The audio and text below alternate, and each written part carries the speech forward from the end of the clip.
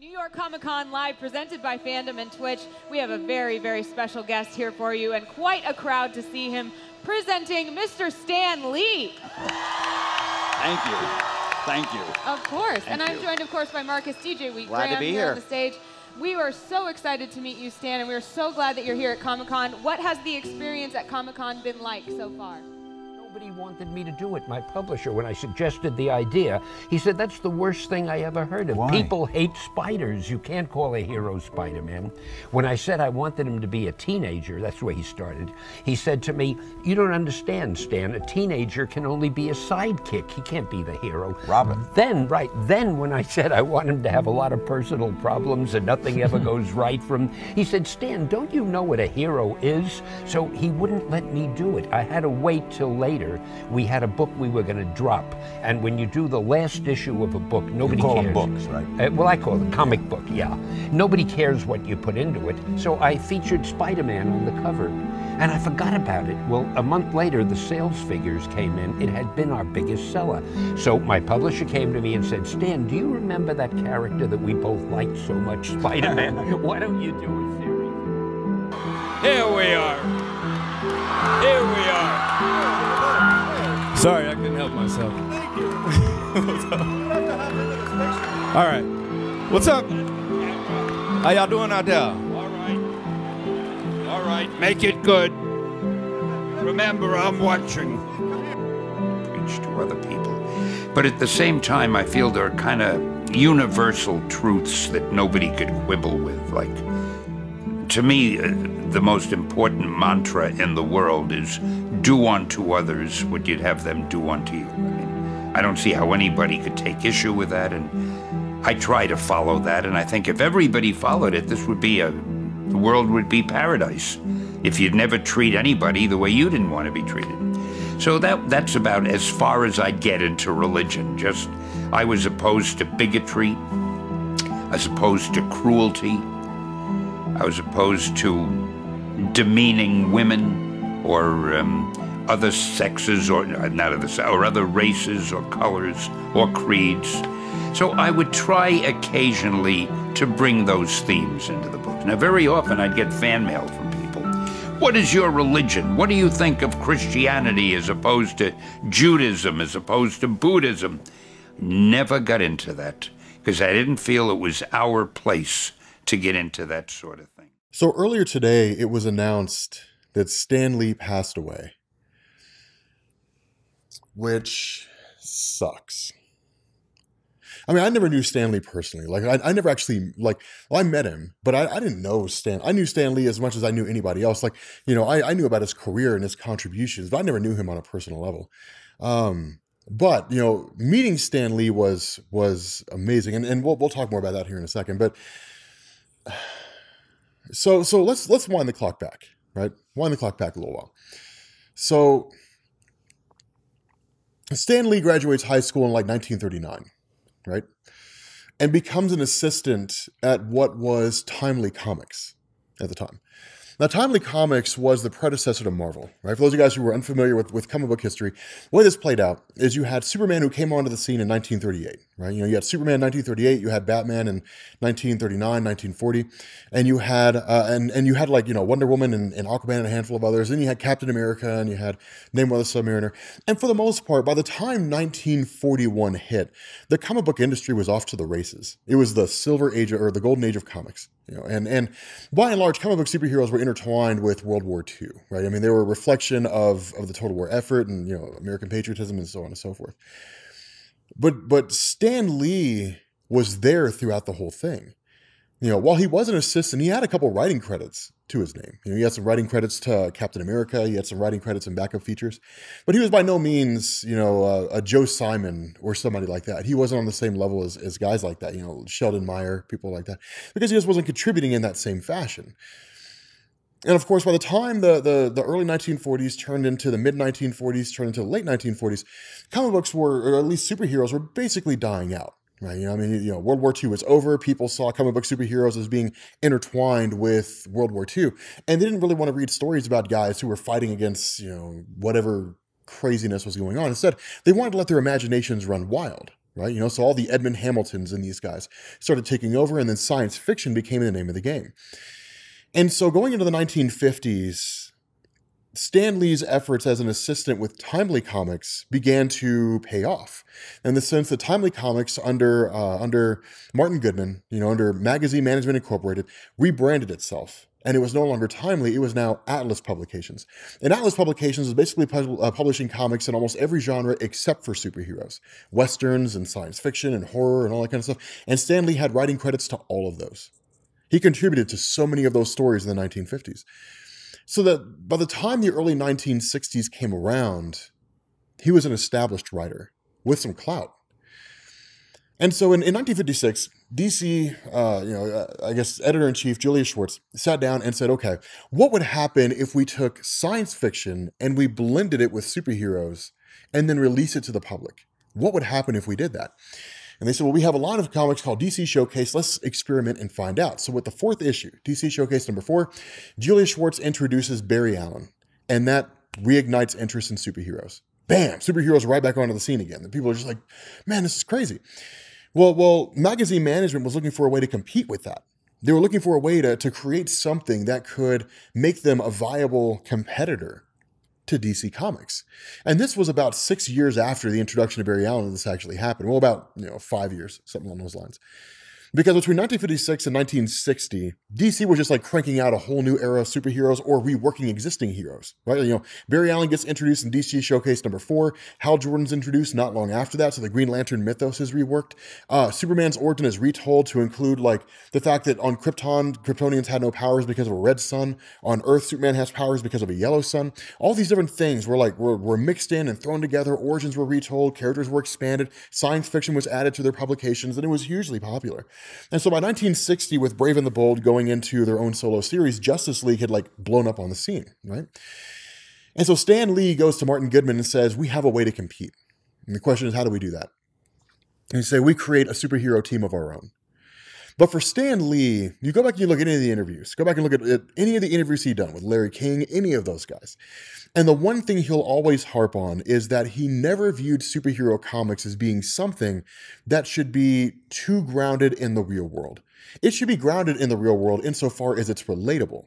But the world was already dark enough as it was. We were post World War II, which meant we were in the middle of the Cold War. You had McCarthyism and the Red Scare.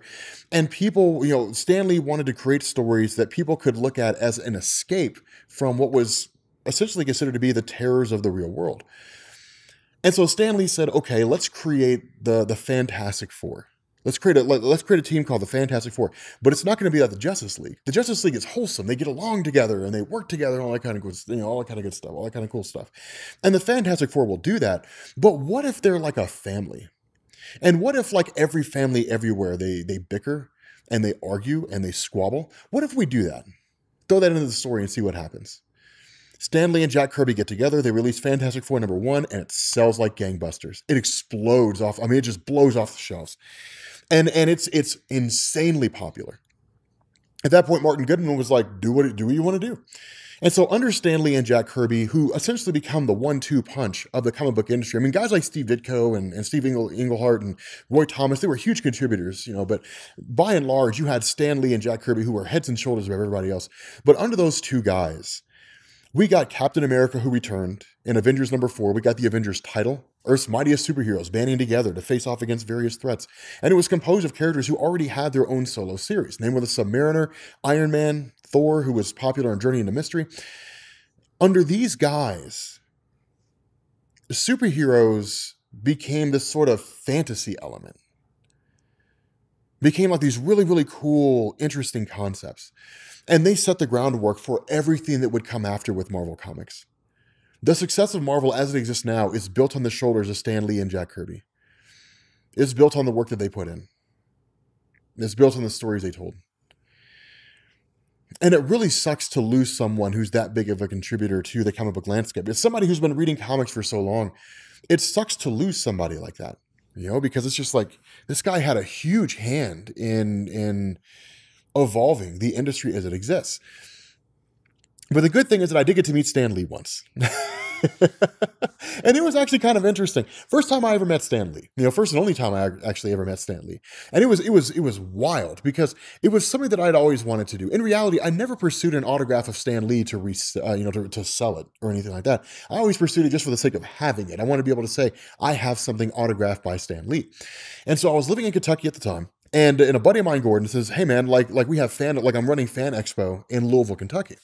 And I say, "What the hell's Fan Expo?" And he says, "You know, what's what's what's what's that?" And he's like, "Well, think of like Fan Expo in Canada, but like on a smaller scale."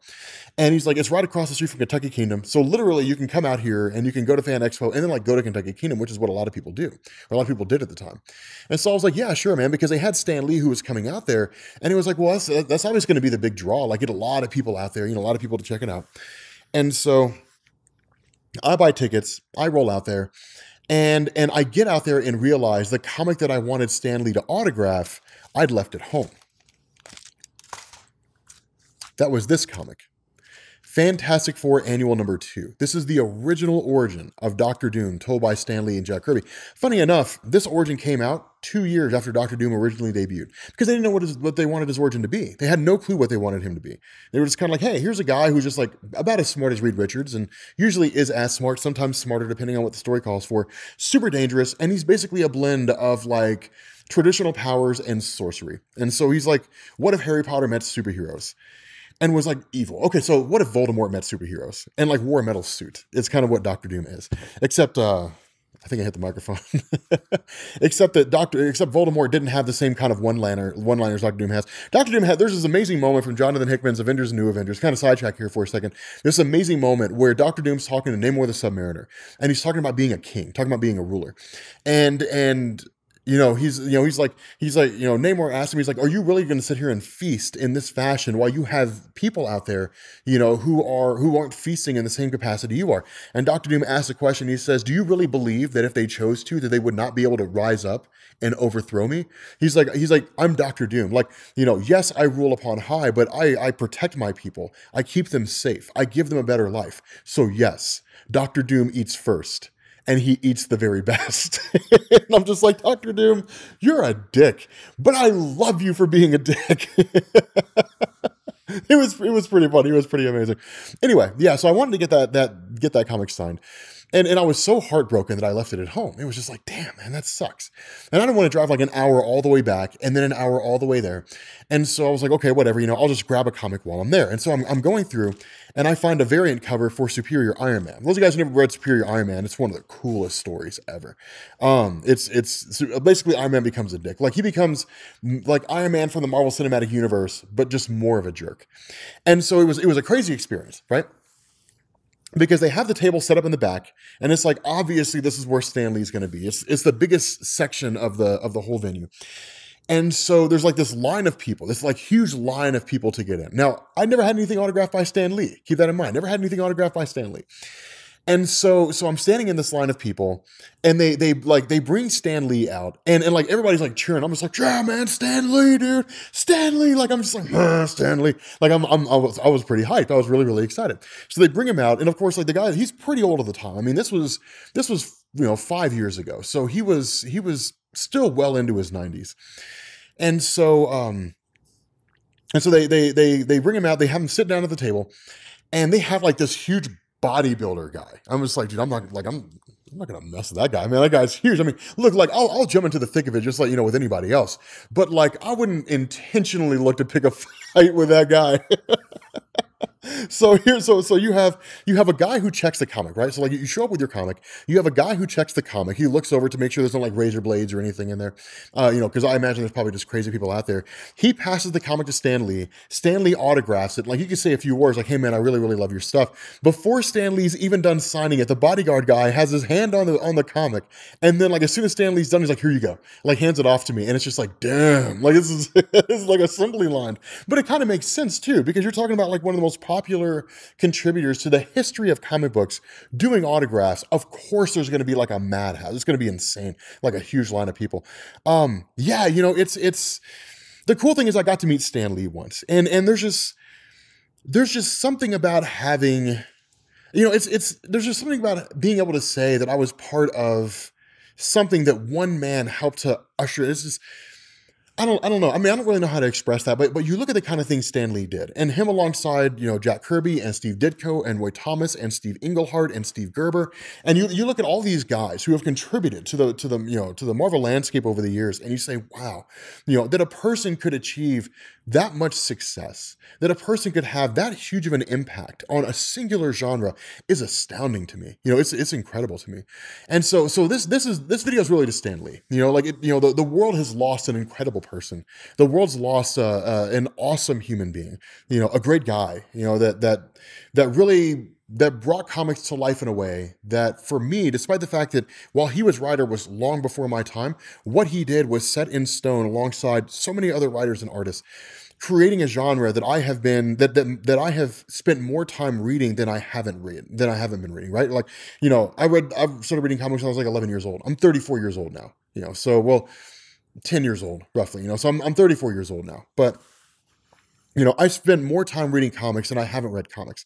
And so much of that is because of the, the early work that Stan Lee put in. So much of it is because of the early work that they managed to, to get together and they managed to sort out. So, Stan Lee, this one's for you, man. Like, it, it, it sucks that you're gone, but just know, like, you know, Stan Lee's leaving behind an incredible legacy that, that so many people like myself can experience and enjoy and, and be a part of. So, Stan Lee, rest in peace, man. Uh, hopefully, hopefully you're in a better place. So, yeah, and uh, and yeah, so I will catch you all later. Peace.